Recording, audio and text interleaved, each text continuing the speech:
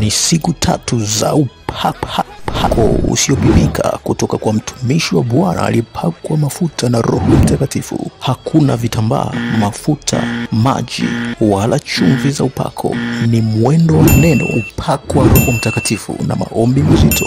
Karibu sana.